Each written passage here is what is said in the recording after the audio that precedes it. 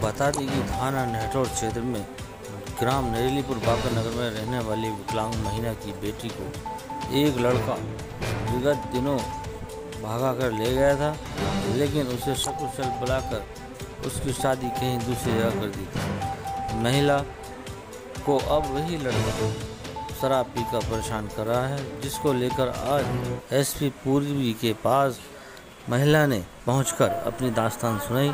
और आप बीती बताई आप बीती बताते हुए उस लड़के के ऊपर कड़ी कार्रवाई करने की मांग की है। देखिए नहटोड़ से हमारे संवाददाता शहजाद मलिक की एक रिपोर्ट। क्या नाम है आपका? सुशीला। कहाँ की रहने वाली हो? मरेलीपुर बाखराबाद। आज धामपुर एसपी पूर्वी से मिलना आई हो। क्या है पूरा मामला? जी मामला यो है कि हमारी लड़की मेरी दौरान की लड़की थी। जी वो चली गई मतलब वो लड़का ले गया था भगा के अपने साथ में। हमारी लड़की आ गई इज़्ज़त के साथ में घर जी। जो हमने उसकी शादी कर दी अपनी रिश्तेदारों में रहकर। ये किसी को पता चला किसी को ना चला और जैसा कर दी तो अब जब उसका बाप आया दारू पीवे तमाम। और पी कर लात मारा सारे के बड़े बड़े में लख दो लख दो। फिर उनके लड़के भी हमें वे भी हमें मारेंगे ये लड़के ला- हमारी बहु लख दो बहु लख के दो। अब बताओ उनके जब लड़के जब कम रहेंगे बोला बदमाश तो बैठो बदमाश तो नहीं रखता अभी। क्या नाम है आपका? कलावती।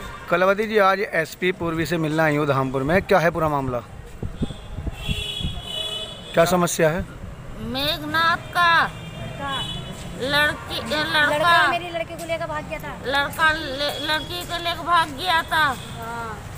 तो मेरा लड़की हमको पास इज़्ज़त बचाने के मारो आ गया था। तो इज़्ज़त बचाने मारो लड़की अपना लॉकडाउन में शादी कर दिया। जी।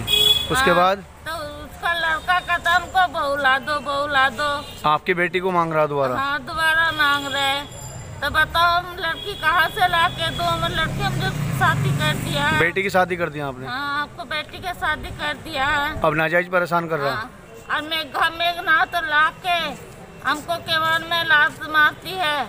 अब पाँच गाड़ी लगा दिया नेटो के टेक लाती समस्या क्या है?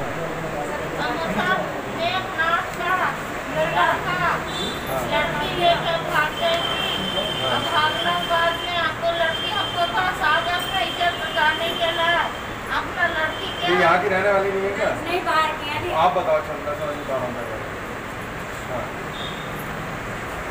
मेघनाथ का को लेकर भाग गया कौन से गाँव का मामला है? ये बाखराबाद मरेलीपुर का थाना खाना नेटो अच्छा